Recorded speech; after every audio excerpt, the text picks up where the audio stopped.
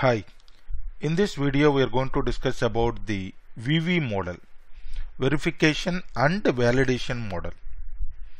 See, as we discussed in each SDLC model, there are six subphases, requirement, analysis, design, coding, testing, delivery and maintenance. But in the previous models like waterfall model or uh, spiral model, we have seen each completion of each phase, then only we are moving to the next phase so that the because of verification technique is not there that is the reason all the mistakes are moving from one phase to the other phase. So finally we are identifying all those gaps in testing phase.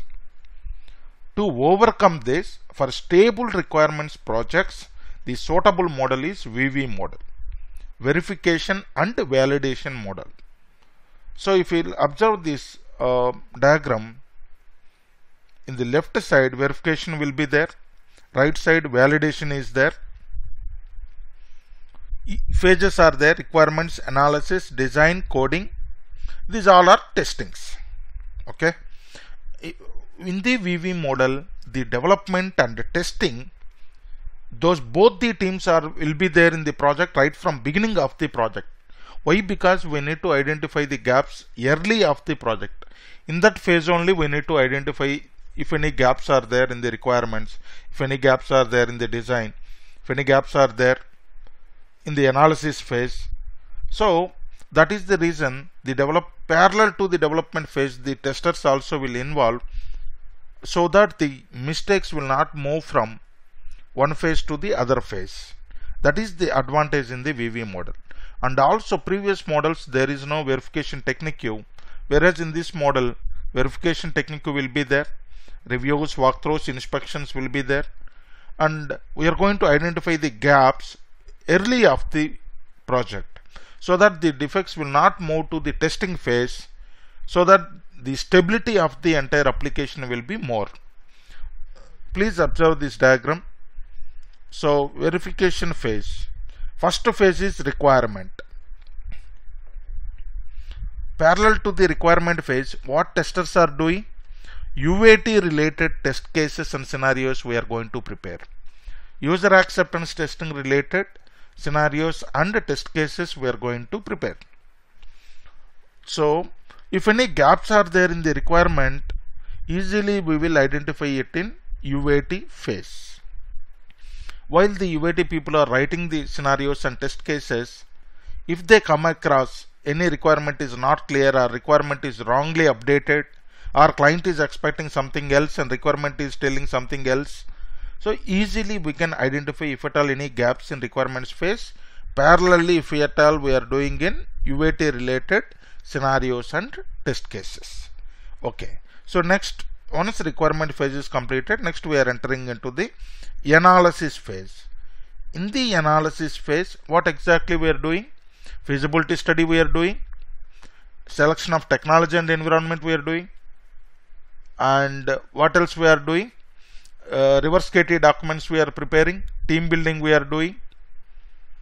And uh, and uh, like we are giving updates to the client. How, how much part of the requirements we understood and how much is pending. If any clarifications will be there those clarifications we are going to get it from the client. So these are all the things going to happen in analysis phase parallel to the analysis phase. The testing people will be preparing their system testing related scenarios and test cases. Already we have seen in the levels of testing what is system testing? System testing is something like testing the entire application on various platforms. Various operating systems various browsers various hardware configurations software configurations. So that is something like system testing. So parallel to the analysis phase the testing people will be involving and they are preparing their system testing related scenarios and test cases. Okay analysis phase is completed. Very good. Next we are moving to the designing phase. In the designing phase usually the development people will prepare their architecture of the entire application and all. So similarly the testing people are involving and they are preparing their integration related scenarios and test cases. If at all they come across anything which is deviating easily they will update to the development team. If at all any clarifications will be there directly they will send a mail to the BA if BA is not clarified again we will get the inputs from the client. Okay design phase is completed. Next coding phase. Development people will start developing the programmable statements. So those programs parallelly once if at all they completed anything the development people only will do the unit testing. Already we have seen in the uh, white box testing levels. So unit testing will be done by the development team. So all these phases are parallel. Parallel to the development phases testing people also involving and they are preparing their scenarios and test cases now you may get a doubt here what is the advantage of parallelly the testing people are involving the advantage is the mistakes in any phase will not, there may be a less chance to move to the other phase. If requirement something is missing, some requirement is not documented properly, or our understanding is wrong, if at all we are doing UAT related scenarios, at that time we are analyzing the requirements. If something is wrong or something is deviating, immediately we will catch and update to the corresponding team. That is the advantage. In the previous models we have seen that there is no verification technique and testing people are involving at the end of the project, at the end of the coding. So these are all the drawbacks in those models. To overcome all those, the stabilized model is VV model, verification and validation.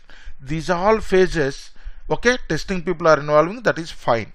And one more thing in this model is happening is requirement phase. Again there may be a reviews. Each and every document each and everything we are doing reviews will be there. Walkthroughs will be there. Inspections will be there.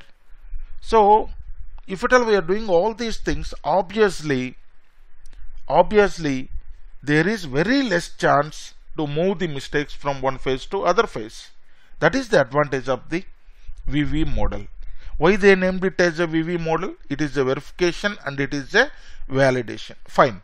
Parallel to all these phases, testing people are involving. We are preparing our scenarios and test cases. Very good. Next, how the flow of the VV model will goes on is requirements is completed, analysis is completed, and then designing will be completed, and then coding will be completed. Once coding is completed, next the flow will goes on here. Development people will do the unit testing and then they will give it to the testing team. Testing team will start with the module level testing usually. Those all I mean in this diagram is not there. So module level integration level system level UAT and production pre-production and production like this is the way it is going to happen in VV model the advantages what are all the advantages in VV model each and everything we are going to cross check by the testing team. If testing team is cross checking, easily we will identify the gaps in that phase itself only. Very less chance will be there to the move the mistakes from one phase to other phase. That is the advantage in the VV model. Next, testing team is involving beginning of the project deviations on the requirements side easily we can identify. And if at all testing people are involving right from beginning of the project testing team will give assurance to the client. Yes we are going on right track to deliver the right product to you. Each and everything we are validating each and everything we are verifying. So that is how the testing team will give assurance to the client saying that we are going to deliver you 100% quality product to you that is the advantage in the VV model. Next, coming to the drawbacks, coming to the drawbacks in the VV model, stable requirements are required for this model. If requirements are not stable, what will happen? Once coding is completed, client changed the requirements. Again, here also we need to start from beginning. Requirements, analysis, design, coding, testing. So, if at all you want to go with VV model, the requirements should be stable enough to continue with the, all the phases. And more budget is required this model. Why? Because all the teams are involving in the project right from beginning of the project. Okay, right from beginning of the project, all the teams are involving all the teams in the sense development team testing team architects team db team services team.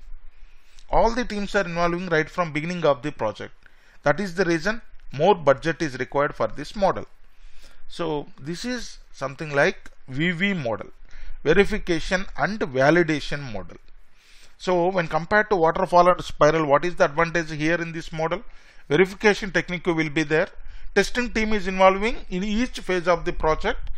That is the reason easily we will identify the mistakes or gaps or deviations in the early phase of the project so that so we can give assurance to the client we are going to give you 100% quality product to you. We will give at least assurance to him we are going to deliver right product to him. So this is about the VV model verification and validation model. So coming to this model what are all the questions they may ask in the interview so the questions side what is verification? Verification is something like static testing. Reviews walkthroughs inspections will be there. We're going to verify each and every document whether it is correct or not. What is validation? Validation is something like actual testing. Whatever the scenarios test cases we prepared? Parallel to the development phases all those scenarios and test cases we are going to execute on the application. Once we get the code from the development team that is something like validation. And what is the advantage of the VV model? Advantage is verification technique will be there right from beginning of the project. Early detection of the bugs will be there in this model. So that we will give assurance to the client. We are going to deliver right product to him in on time. Coming to the disadvantages side, more budget is required for this model. And stable requirements are required for this model. So these are all the questions they may ask you in the interview. What is verification? What is validation? How the process in the VV model? How the flow of the VV model will goes on? Parallel to the development phases, how the testing phases are going on? Uh, parallel to the uh, requirement what we are doing, analysis what we are doing, designing what we are doing, coding what we are doing, these all things they may ask you in the interview. I hope VV model is clear to you. Thank you so much. Please don't forget to subscribe my channel. Thank you.